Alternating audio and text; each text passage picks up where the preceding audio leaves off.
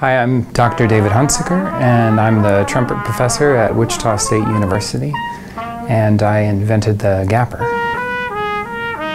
Well, I started playing the trumpet when I was 11 years old, so 35 years ago.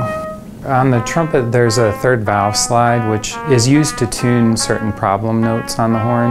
The trumpet is designed to have the rings be one size fits all, which basically means it doesn't fit anyone.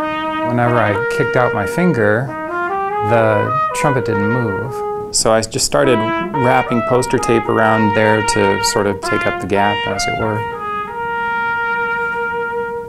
When I first went over to the people at NIAR and I told them I had this idea for a device, which is really tiny, and they said, oh, that?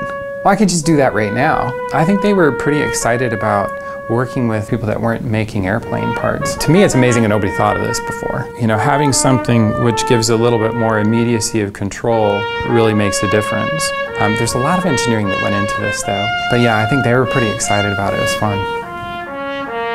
Very recently I had an opportunity to give a description of the process for developing the Gapper. Afterwards I had several of my colleagues come up to me and say, hey, I've got this idea. Do you think that they could make this? Absolutely. Yeah, why not?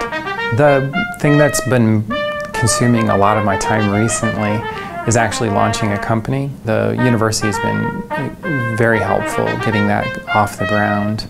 If I had been doing this myself, it would not have gone very far. Working with Gail Tissick and working with the people at, at WSU Ventures has been fantastic.